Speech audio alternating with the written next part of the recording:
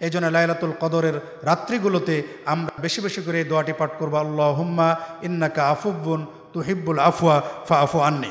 লাইলাতুল কদরে আমরা যে দোয়াটি পাঠ করব, সেটি হচ্ছে আয়েশা আনহা থেকে বর্ণিত। তিনি বলেন, যে আল্লাহ রসুল সাল্লাম আমি যদি জানতে পারি বা আমি যদি লাইলাতুল কদর পাই, তাহলে আমি কোন দোয়াটি পাঠ করব বলে আপনি মনে করেন? আল্লাহ রসুল সাল্লাম বললেন, কুলি আল্লাহ হুম্মা ইন্নাকা আফুব্বুন তুহিব্বুল আফওয়া ফা আফু আন্নি।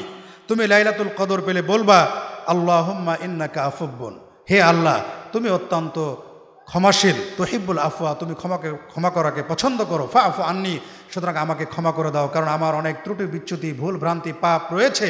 অতএব আল্লাহ রব্বুল আলমিন, তুমি আমাকে ক্ষমা করো।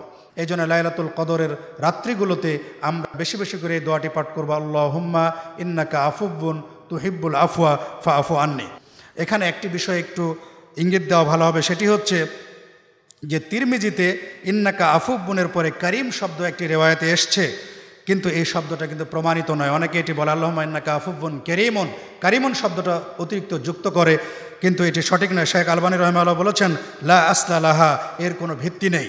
ফাজ জহিরো আন্নাহা মিন মুদ্রাজা মিমবাদিন না সেখিন আত্মাবেইন কোনো লিপিকারক অথবা মুদ্রণকারীরা হয়তো এটি হাদিসের মধ্যে ঢুকিয়ে দিয়েছে।